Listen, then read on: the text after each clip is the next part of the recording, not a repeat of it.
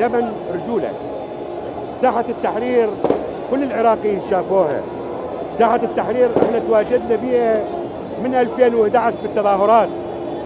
وشفنا ما شفنا. لكن ساحة التحرير بال 2019 وبتشرين الأبيض على الشعب وتشرين الأسود على السياسيين وعلى الفاسدين وعلى الذين نهبوا هذا الشعب.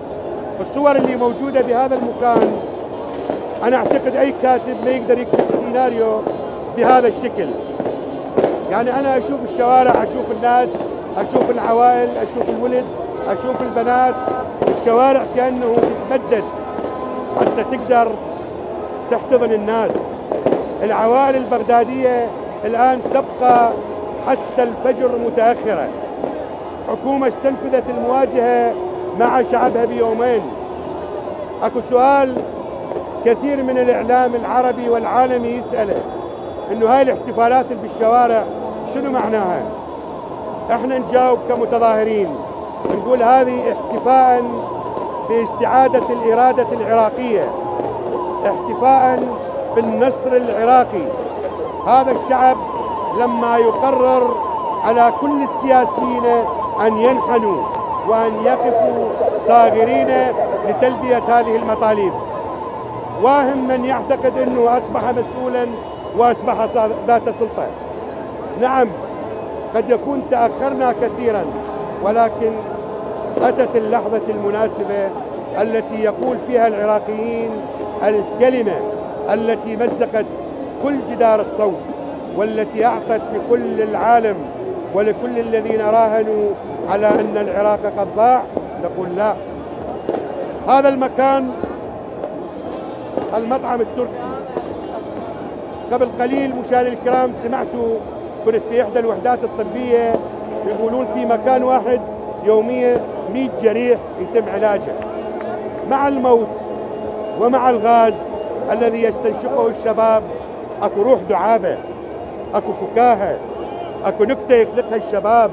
وهم دا يموتون وهم دا يستقبلون الغاز المسيل للدموع وهم يستقبلون رصاص الغدر والخيانة.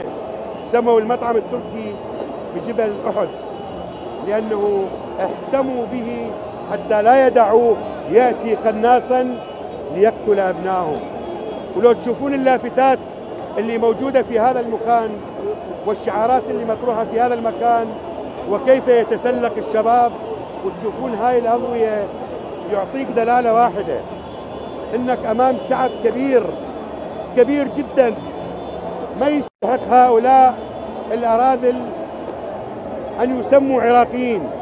وأقصد بهم هؤلاء السياسيين. العراقي في كل عمره طلباته مشروعة.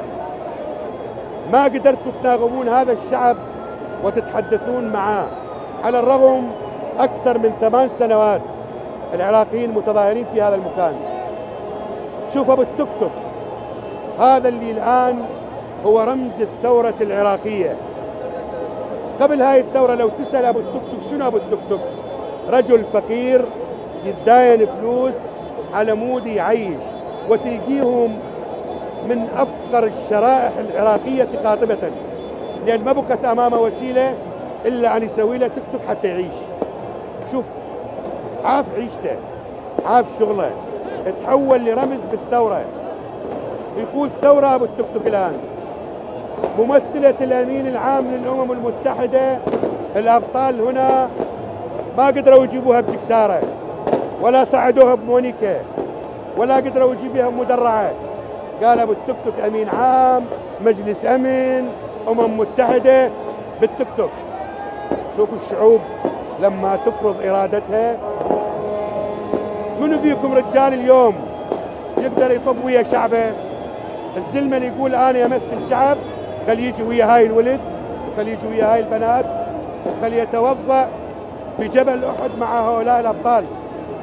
خلي يتبرع خلي يقبل. اليوم يوم لا ينفع مال ولا بنون. وإذا كان لكم زمنا أو ما تبقى من زمن توضأوا بمواقف هذا الشعب. وأنا أقدر أقول ما ظل وقت بعد. استنفذتم كل ما عندكم. لكن الشعب في كل يوم إلى صفحة وإلى بطولة وإلى رجولة وإلى موقف والعراقيين ذولا. اليوم هذا العراق اللي رفضتوا أن تسمعوه. اليوم أبو التوك توك البطل أبو التوك توك البطل رسم معاني الثورة يعني كرنفالات الحب والفرح